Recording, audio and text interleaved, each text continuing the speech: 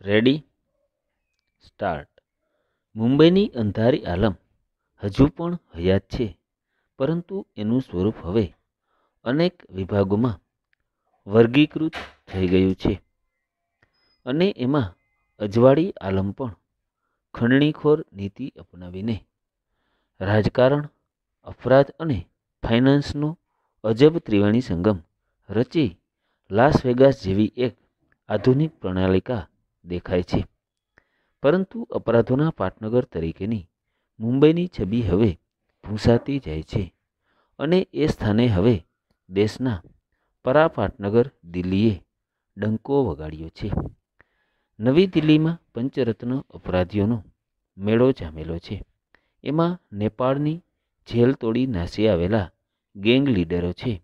મધ્યપ્રદેશના ઓનકોલ હત્યારાઓ છે. પંજાબના ડ્રગ માફિયાઓ છે. જૂના તામિલ ટાઈગરો છે. ટૂંકમાં વૈવિધ્યસભર ભારતને શોભે એવું એક એન્ટી મેઘધનુષ અહીં છે. પાટનગર, નવી દિલ્હી હવે મહદઅંશે અંધારી આલમના હાથમાં સરી ગયું છે. છેલ્લા ત્રણ મહિનામાં પચાસથી વધુ ગોળીબારની ઘટનાઓએ આકાર લીધો છે. ગત મહિને તો ત્રેવીસમી જૂને એક જ દિવસમાં દિલ્હીમાં નવ હત્યાઓ થઈ હતી. નવી દિલ્હીમાં આજકાલ એક પણ સ્થળ નાગરિકો માટે સલામત નથી. લગભગ દરરોજ આંગળિયા પેઢીઓને લૂંટવાના બનાવો નોંધાય છે.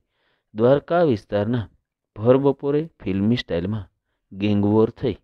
સામસામે બે જૂથો વચ્ચે ગોળીબારની રમઝટ બોલી.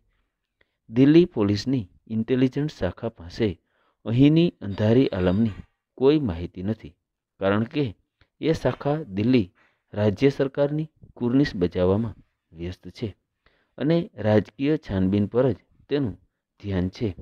દિલ્હી પોલીસના છેલ્લા વાર્ષિક રિપોર્ટ બતાવે છે કે ઈસવીસન બે હજાર સત્તરમાં દિલ્હીમાં બે લાખ ત્રેવીસ હજારથી વધુ અપરાધી કિસ્સાઓ બન્યા અને ઈસવીસન બે હજાર ઓગણીસમાં બે લાખ છત્રીસ હજારથી વધુ ગુનાઓ પોલીસ દફતરે નોંધાયા. આ આંકડાઓ લાસ વેગાસ જેવા અપરાધી શહેરોની એવરેજ નજીકના છે.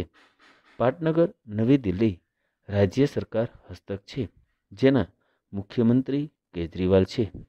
કેજરીવાલ એક નવા મોડેલ સ્ટેટનો પરિચય આપવામાં એટલા ગળાડૂબ છે કે ગૃહ ખાતા પર તેમની પકડ રહી નથી. કેન્દ્રની એનડીએ સરકાર ખુદ દિલ્હીમાં બિરાજમાન હોવા છતાં તે કેજરીવાલના લોકપ્રિય સામ્રાજ્યમાં અરાજકતા ચાહે છે. ભાજપની ઘોર અનિચ્છાએ કેજરીવાલ દિલ્હી રાજ્ય સરકાર ચલાવે છે. ભાજપે કોંગ્રેસ પાર્ટીને ઝુકાવી છે પણ કેજરીવાલનો કુતુબ મિનાર ઝુકાવી શકી નથી. એનો ભાજપને ડંખ છે.